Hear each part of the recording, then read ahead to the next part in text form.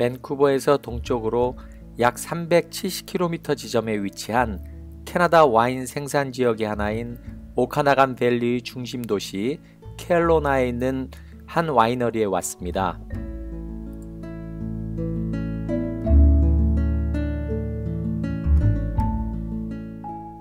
오카나간 밸리는 북위 49도에서 50도 사이인데 여름이 짧고 겨울은 매우 추워 와인 생산지로 적합해 보이지 않습니다.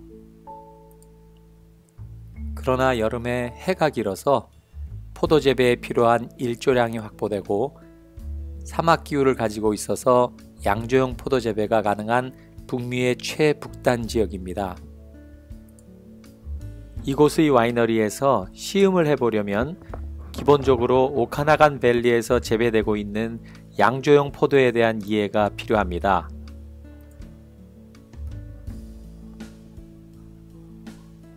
오카나간 밸리에는 프랑스 포도를 대표하는 국제 품종 약 20여 가지가 재배되고 있습니다. 그중 일반인들이 잘 알고 있는 레드 와인용 포도는 보르도의 Cabernet Sauvignon, Merlot, Cabernet Franc, 론 지방의 Syrah와 같은 품종인 슈라즈, 부르고뉴의 피너누아이며 화이트 와인 포도 품종으로는 Chardonnay, Riesling, Gewürztraminer, 그리고 Pinot Grigio 등이 있습니다.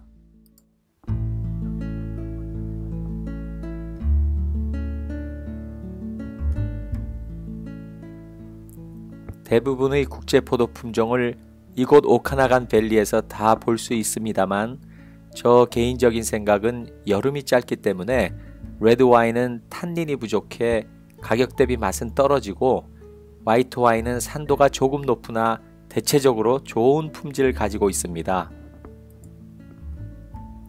그런데 특별히 레드 와인을 추천해 보라고 하면 카보네 쇼비뇽과 비교해서 탄닌이 적은 멀로나 서늘한 기후에서 자라며 포도 스킨이 두껍지 않은 피노누아입니다.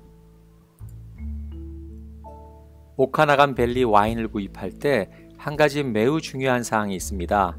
프랑스의 AOC나 이태리의 DOC와 같이 캐나다에도 VQA라는 인증 제도가 있습니다.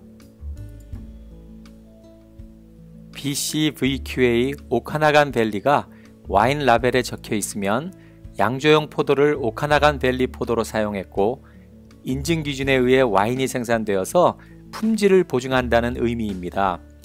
따라서 가능한 VQA가 적혀 있는 와인을 구입하시기 바랍니다.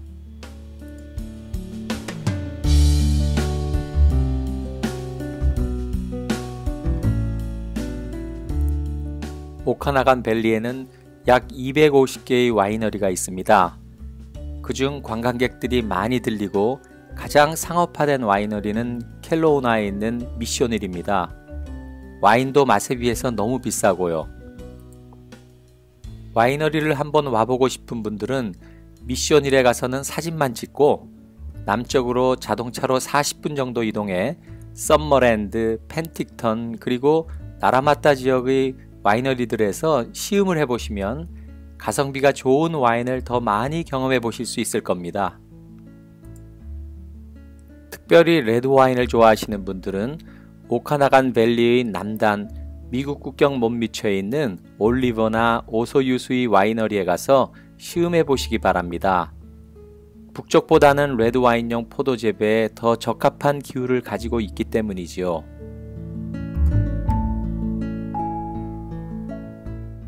조금 전 들른 Painted Rock 와이너리에서 내려다본 스카하 호수 옆길 East Side Road를 통해 남쪽 오소유수로 향하고 있습니다. 양조용 포도 재배를 위해서는 낮에 무더운 날씨를 밤에는 서늘하게 해주어야 하고 반대로 추울 때는 따뜻하게 해주어야 하는데 바로 이 호수가 이런 역할을 하게 됩니다.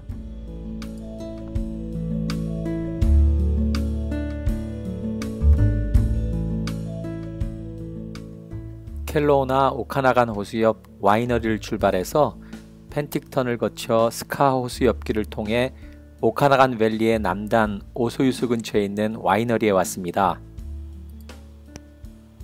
이곳은 오카나간 밸리 북쪽보다 기온이 2, 3도 더 높고 여름이 조금 더 길어서 레드와인용 포도를 재배하기에 적합한 곳입니다. 와이너리가 북쪽에 있으면서 레드와인을 제조하는 경우에는 대개 레드와인 포도를 이 지역에서 재배하여 가져가 와인을 생산하는 경우가 많습니다.